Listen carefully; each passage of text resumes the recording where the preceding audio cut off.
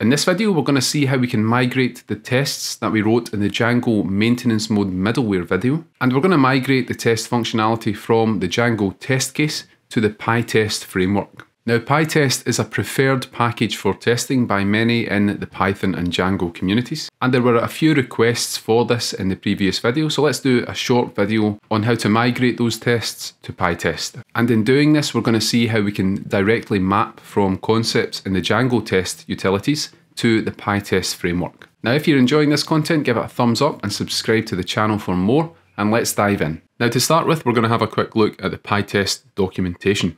What PyTest does is it makes it easy to write small, readable tests, and it can scale to support complex functional testing for applications and libraries. And PyTest will use the built-in assert keyword in Python. So unlike the Python unit test module and Django's test case class, we don't need to memorize function names like self.assert equals or assert true or assert contains and so on. Instead, we have simple assertions in our functions and the logic for that is on the right hand side of that statement. Now we're going to need to install PyTest and we're also going to install a plugin called PyTest Django. And this plugin provides a set of useful tools for testing Django apps and projects. Now I'm going to copy this pip install command here and let's open VS Code where I have a Python virtual environment activated. We're going to paste the command in there and of course we also need to install PyTest. So let's run this command. Now that's going to install PyTest and PyTest Django into this environment. And now that that's installed, what we're going to do is write two functions in PyTest. And we're going to create tests that mimic the functionality that we defined in the last video for the maintenance mode middleware. So one function to test the behavior when maintenance mode is on, and another function to test the behavior when it's off. And in doing this, we're going to see how to map some of this functionality, such as the override settings decorator, from the Django test framework to the PyTest framework. Now to keep things simple, what I'm going to do in the core application where we already have a tests.py file is create a new file and I'm going to call it tests2.py. Now of course in a real application you wouldn't call the file this, we could call it something like testmiddleware.py. And at the top of this file let's import pytest. And let's start by migrating the function that tests the behavior when maintenance mode is on. Now as I said, we're going to see how to mimic the override settings decorator. And the reason that we're using this is that maintenance mode is currently a setting in the Django application, and our tests cannot rely on whatever the setting happens to be when the tests are run. We need to have a way of overriding the setting, and then we can write tests that are conditional on whatever that setting might be. So in order to do this in PyTest, let's go back to this file here. We're going to create two PyTest fixtures now. And a PyTest fixture is a function that provides a consistent context for your tests. Now the way to write a fixture is to decorate a function with pytest.fixture and then we can write the name of the function here and I'm going to call this fixture maintenance mode on. Now the question is what do we need to actually do in this function here?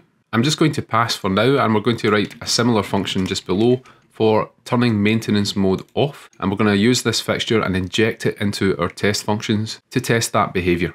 Now I'm going to go to the PyTest Django documentation and there's a section here on overriding individual settings and I'll leave a link to that below the video. So PyTest Django provides a settings fixture and you can write another fixture that takes that settings fixture as a parameter in order to change the settings in your Django project for your tests. So let's do that just now and go back to VS Code. We're going to inject this settings fixture here and we're going to need to do that in both of the PyTest fixtures that we're writing here. Once we have the settings fixture, we can then set some of these settings. So for example, settings.maintenance mode, we can set that to true in this fixture, and I'm going to copy that, and below we can set it to false in the other fixture. Now the idea is we can now inject these fixtures into our test functions. So let's go down below the fixtures and we're going to write some functions now. And I'm going to copy the names from the previous file that we had. So the top one here is test response when maintenance mode is on. Let's copy that. And that's going to take the maintenance mode on fixture. That's going to take that setting and set it to true.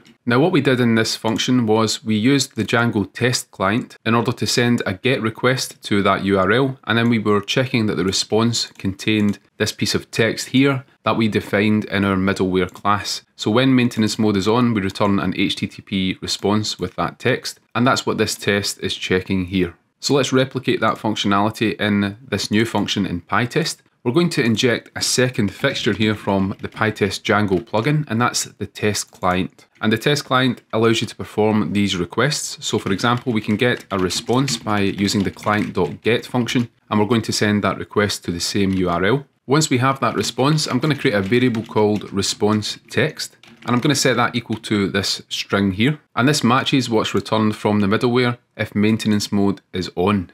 And in this test, we know that maintenance mode is on because we've injected that fixture here that sets the value to true. And what we can do is assert that the response contains this text, or rather that the response is equal to that text. And we just use a normal assertion in Python to do this. So we're going to assert that response.content is equal to the response text. Now response.content will return bytes, so we need to decode that to a string by using the .decode function. And after we do that, this assertion should hopefully return true. Now let's test this out. So we're going to go to the terminal and we can run the pytest command. And we can see the output here. It has not found any tests. We've got collected zero items in the output. So we need to tell PyTest how to find our tests and how to run these tests. Now in order to do that, we're going to go to the project root and I'm going to create a new file here called pytest.ini. And this is a configuration file for PyTest. And we can put the settings for PyTest in this block of code here. So to start with, let's set the Django settings module, and that's going to be in the project directory, which is called Django underscore, underscore MW. And then within there, we have a settings.py file. So let's set that here. And in a production environment, you might have a settings file specifically for tests. So in that case, you would set the reference to that here in the Django settings module variable. What we're also going to do is we're going to tell PyTest where to find our test file. So Python files, we're going to reference that tests2.py file, and that's the one that, that we created here and that we're writing this code in. And the final thing I want to do is add some options that are always going to be applied on the command line when we run the pytest command. So I'm going to add dash rp and the R flag here, this is going to display a test summary at the end of the test session. And that's going to be useful to get an overview of how the tests performed and how many passed and failed. So now that we've done this, let's save the pytest.ini file and we're going to go back to the command line and rerun pytest. And this time you can see that we've collected one item and that item is our test function that we've written here in tests2.py. And we can see the summary at the bottom that the test has passed. And that means that when we send a GET request to this URL, the response content is equal to this string that we've set here. And this behavior is what's defined when maintenance mode is on and we're turning that on by injecting that fixture. Now one thing to note here is that we're getting some logging output that's being captured to standard error here. Now we can actually disable logging in PyTest for our tests if we want to, and that's what we did in the last video. If we go back here in the Django test case setup method,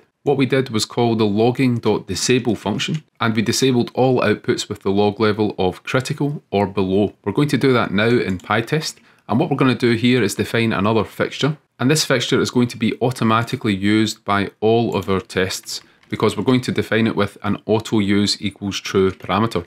So let's use pytest.fixture and we're going to pass auto use and we're going to set that to true.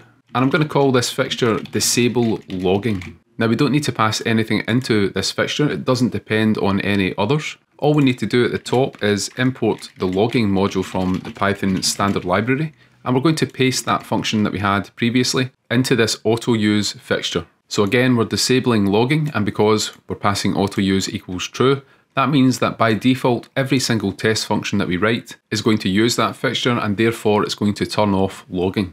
So if we go to the bottom here and we rerun this, you can see the output now. We have our test passing, but we don't get those log messages that are defined in the middleware class. So we've disabled logging and we can now move on to the second function. So we're testing the response when maintenance mode is on. What I'm going to do is copy the two lines of code here and we're going to go below and I'm going to paste these in and we're going to change the name of the function to test response when maintenance mode is off. And we also need to change the fixture that we're injecting into this test. So we're going to change that to maintenance mode off. And that's this one here that sets that setting to false. So let's go back to our function. We're sending the request to that endpoint and we get back the response. If we look at the previous test that we defined for when maintenance mode is off, we were using the Django test case assert contains method, and we were checking that the response contained this text here. Now the reason for that is that when maintenance mode is off, we expect to get served this template here, and that's because this is the template that matches this particular URL. So the Django view will return the template when a request comes in for this particular URL. Unless maintenance mode is on, of course, when a different response will be sent. but we've already written that test, so we're now going to write the test that checks for this text here. So let's go back to tests2.py, and again we're going to define response text here, and we're going to set that equal to what we had in the previous video. So let's copy this text and go back here and paste that in. And we're now going to use another assertion here. We're going to check that the response text is in response.content.decode. So again, we use decode to convert the bytes to a string, and then we use the assertion here that the response text is in that string. So we expect the template that's returned to contain that text here. And the other thing we did in the previous video was we used the test cases method assert template used. So how do we get access to that in PyTest? What we can do is go back to the PyTest Django plugin. So let's open the documentation for that. And this is a page on Django helpers. And as it says here, all of the Django test case assertions are available in the PyTest Django.asserts module. And it turns out this is exactly what we need. So let's copy that and go back to VS Code. And we're going to go to the top of the file and we're going to bring that import in. So we're importing assert template used. And we can now go back down to our function and we can use assert template used here and we can pass in the name of the template that we expect to get back. And in this case, that's index.html. So that's an example of how you can use an assertion in the Django test case within your PyTest functions. Let's save this file and go back to the terminal and we're going to run PyTest and hopefully we're going to see that two tests were collected and both of them passed and that's exactly what we see here. So that's been a short video where we've shown how to take Django tests and write the same tests in PyTest. What we've shown in this video is how to define some fixtures that can be used within your PyTest functions. So for example, we have two fixtures here that take the PyTest Django settings fixture and that allows us to change the values of our settings in order to test the behavior of those settings. And we also saw how to define a fixture here that's used automatically by all of our test functions by passing auto use equals true into that decorator. And as well as the built-in settings fixture in PyTest Django, we also saw how to use the client in order to send the requests to the application. And then we saw how to use normal assertions in Python in order to check that the results contained the state or the content that we expected. And then finally, we also saw how we can use Django test case methods, such as assert template used in the context of a PyTest function so in order to do that, all we need to do is we need to import the assertion that we want from the pytest django.asserts module. So this is all demonstrating the PyTest way of mimicking some of the Django test functionality. And hopefully that will help you going forward if you weren't aware of some of this or if you haven't used PyTest before. So that's all for this video. If you've enjoyed the video, give it a thumbs up and subscribe to the channel if you've not already done so. And if you're enjoying this content, consider buying the channel a coffee there's a link in the description. Thanks again for watching and we'll see you in the next video.